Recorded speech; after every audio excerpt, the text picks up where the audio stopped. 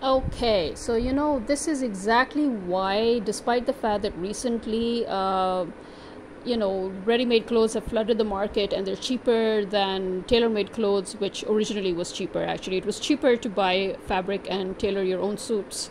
Um, but uh, now it is actually cheaper to get ready made clothes. But here is the basic flaw I don't know who the hell cuts these things up. I seriously, that is the first thing we need to ask these pseudo tailors and these pseudo designers that um, have ready made suits all over the market is that who the hell does the cutting?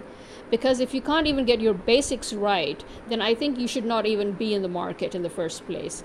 And it's become so common now, which is why actually I tend, even if I do get ready made clothes, I tend to get them two sizes larger just to stay on the safe side. Imagine, I'm actually a size small, but I normally get a size medium.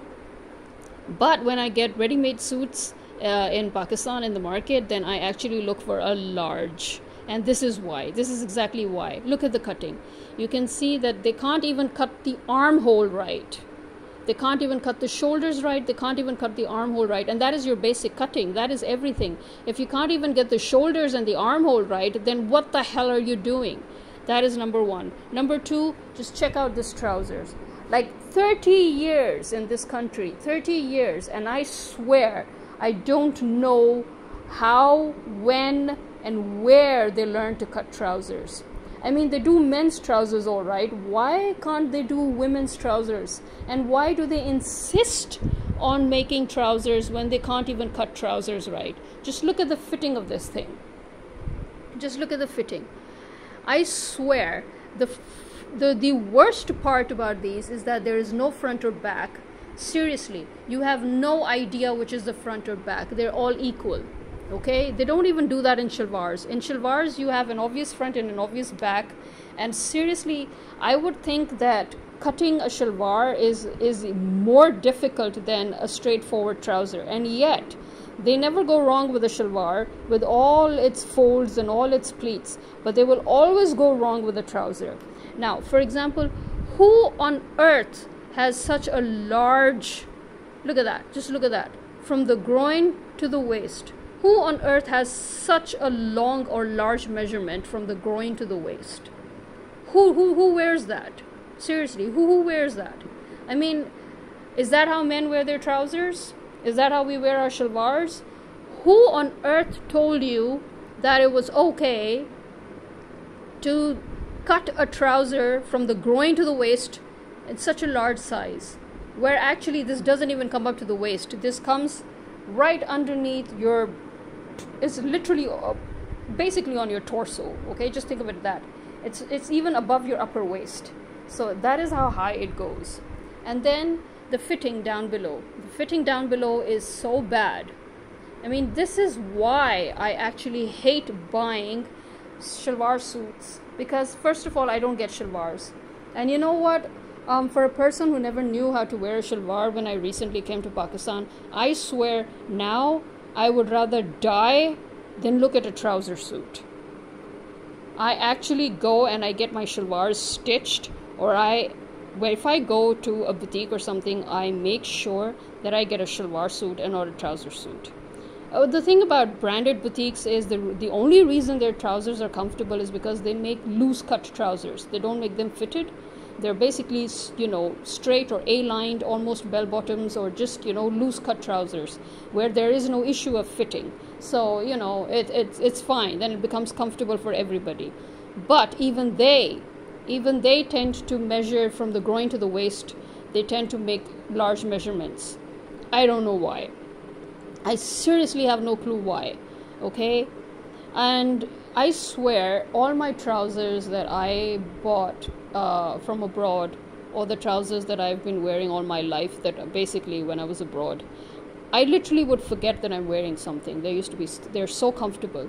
But these trousers they're so uncomfortable that I swear I feel like burning them. And I think one day I will end up taking all these trousers that I've got and I'm going to burn them. Because even my tailor doesn't get them right when I asked him to stitch trousers for me i swear and the thing the problem with these people is they just they don't admit it they never admit to the fact that they do not stitch trousers well. Forget the stitching, they don't cut them well.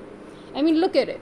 The part that is supposed to go in your knee, that actually glides up above your knee or below your knee, depending on how you manage to wear that weird sized, large assed, growing to, to waist measurement thingy, you know, depending on how you try to manipulate that, you know, your, your knee goes up or down. And that's it. You're, you're completely lost. When you're if your knee isn't where it's supposed to be if the knee cut is not where it's supposed to be then how can you even walk properly? Yeah? So these are the two i mean these are just basic things. The thing that really pees me off is that the most basic thing is getting the armhole and the shoulder cut right now imagine that your this this the shoulder it rides above your actual shoulder and then this part it digs into your armpit. Imagine that. And and look at this. Just look at it.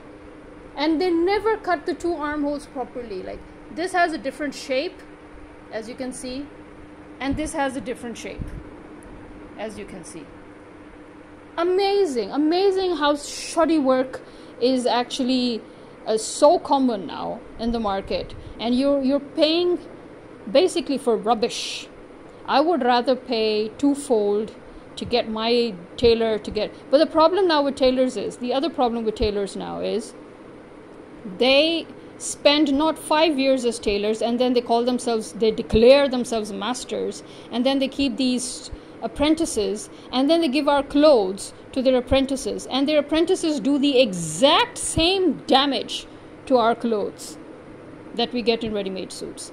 They will never make the neckline right they will always ruin the shoulder and the armhole.